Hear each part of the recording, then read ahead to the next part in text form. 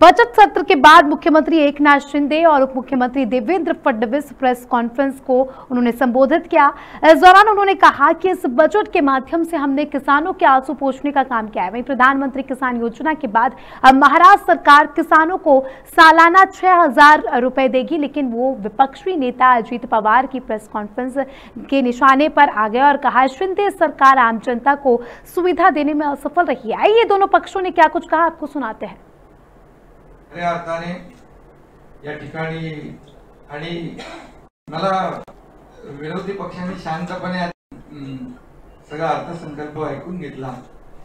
आणि त्याबद्दल मी त्यांनाही मनापासून धन्यवाद देतो. तर त्यांना एकमेकाकडे पाहत होते. आकडे जे आम्ही अर्थमंत्री आकडे आणि योजना आणि जे निर्णय याच्यातून सांगत होते त्यामुळे त्यांना प्रश्न पडला होता हे कसं काय शक्य होऊ शकतं?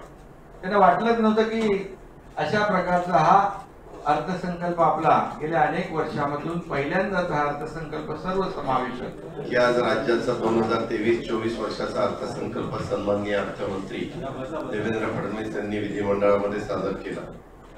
कारण मला स्वतःला वाटत होतं की अभ्यासू लोकप्रतिनिधी अशी त्यांची ओळख असलेल्या फडणवीस साहेबांच्याकडनं राज्यातल्या जनतेला तशा मोठ्या अपेक्षा होत्या. अर्थसंकल्प बघितल्यानंतर सर्व अपेक्षा सबसे फोल फोल ठरल्यात असं माझं मत आहे. त्याच्यामध्ये तीन वर्षापूर्वी मला आठवतं मी अर्थमंत्री होतो उपमुख्यमंत्री होतो त्यावेळेस. अर्थसंकल्प कसा वाचावा हे पुस्तक त्यांनी लिहिलेलं होतं.